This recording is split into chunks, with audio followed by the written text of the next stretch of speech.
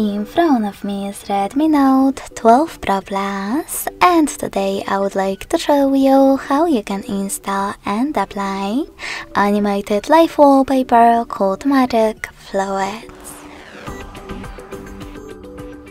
First of all, go into Play Store and click on the search bar. Then type in Magic Fluids. After that, you need to install this free app from Mad Scientist developer. When your app is ready, open it. You can mute the music by tapping on the bottom left corner.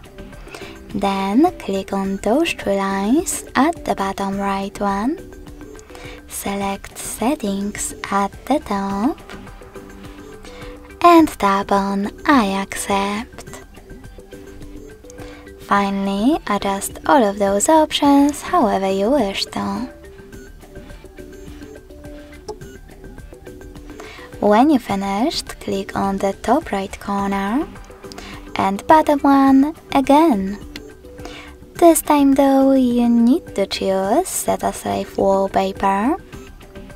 Click on Set Wallpaper at the bottom and confirm your choice in the pop-up by tapping on home screen or home screen and lock screen. So when I do that and go back, as you can see my wallpaper was successfully applied.